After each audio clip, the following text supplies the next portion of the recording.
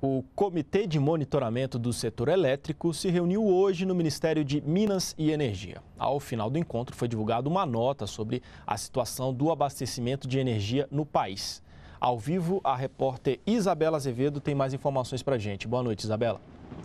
Boa noite, Aldilei. Boa noite a todos. A nota divulgada hoje pelo Ministério de Minas e Energia confirma a garantia de abastecimento de energia elétrica no país este ano, apesar do nível abaixo da média de água nos reservatórios das bacias hidrográficas que abastecem as hidrelétricas. Segundo a nota, o sistema elétrico está equilibrado e opera com sobras de pelo menos 9% da previsão.